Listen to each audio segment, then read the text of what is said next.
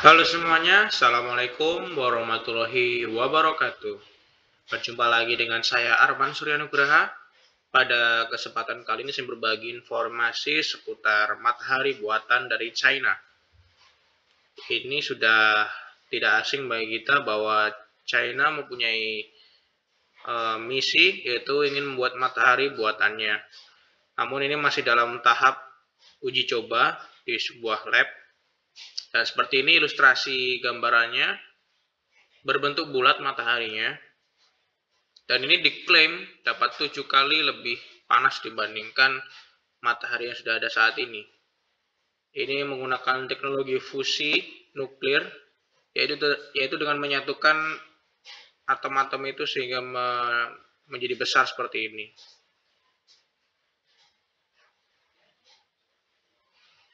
Dan ini yang lebih menghebohkan yaitu sudah dibuat dan lagi proses uji coba untuk dinyalakan. Dan apa dampaknya? Tentu saja matahari yang sudah ada saat ini itu sangat berpengaruh sekali terhadap perubahan iklim. Apalagi kita mempunyai dua matahari.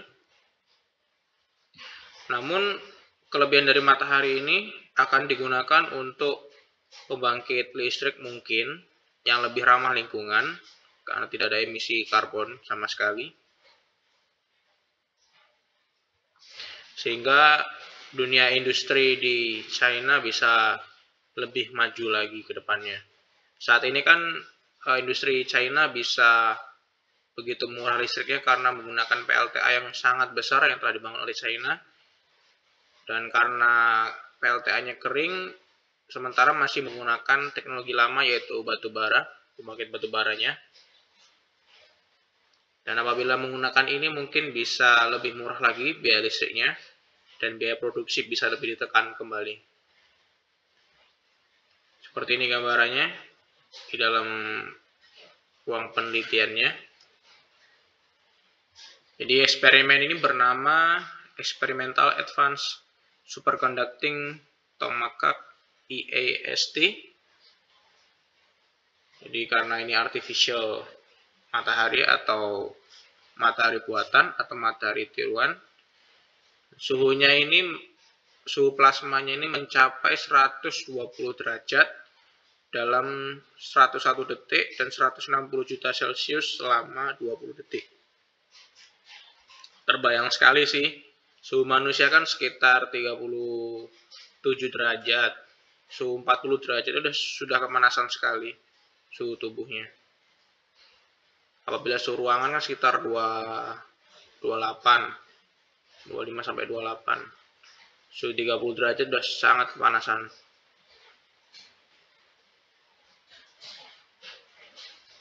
Jadi ini menirukan proses fusi nuklir yang alami di matahari dan bintang-bintang untuk menyediakan energi yang bersih dan hampir tanpa batas melalui fusi nuklir terkontrol yang sering dijuluki matahari buatan ini. Jadi memecahkan rekor sebelumnya yang mampu mempertahankan suhu plasma 100 derajat Celcius selama 100 detik. Jadi ini pengembangan dari sebuah reaktor nuklir ya kan. Apabila reaktor nuklir biasanya itu nuklir dipecah lalu menghasilkan panas. Panasnya ini untuk mendidihkan air yang siklusnya itu tertutup, jadi airnya akan berputar terus-terusan dan akan menggerakkan sebuah turbin. Kalau ini langsung uh, dari nuklir itu disatukan atom-atomnya sehingga membentuk sebuah matahari ini dan energinya itu bisa digunakan.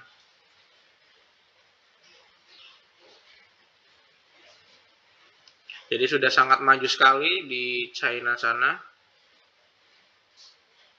Mungkin ini bisa bermanfaat untuk menanggulangi krisis batu bara yang di China saat ini. Karena PLTA-nya surut, China menggunakan pembangkit batu bara lagi dan sekarang sudah memborong batu bara dari Indonesia. Jadi energi yang dihasilkan dari fusi nuklir adalah energi yang paling andalan bersih. kata Direktur Pusat Penelitian Ekonomi dan Energi China. Jadi teknologi ini masih dalam percobaan, setidaknya masih membutuhkan 30 tahun bagi teknologi ini keluar dari laboratorium. Oh, berarti belum bisa untuk mengatasi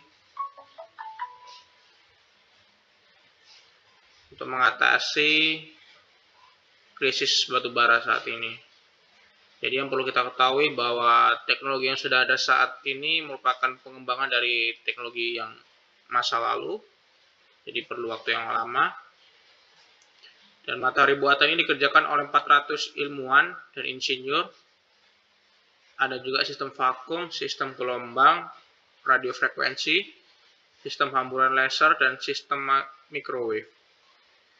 Itu saja yang ingin saya sampaikan seputar matahari buatan China ini.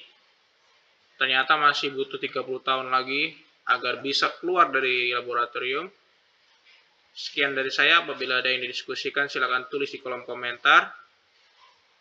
Apabila ingin ikuti video ini, silahkan like, komen, dan subscribe. Semoga bermanfaat. Wassalamualaikum warahmatullahi wabarakatuh.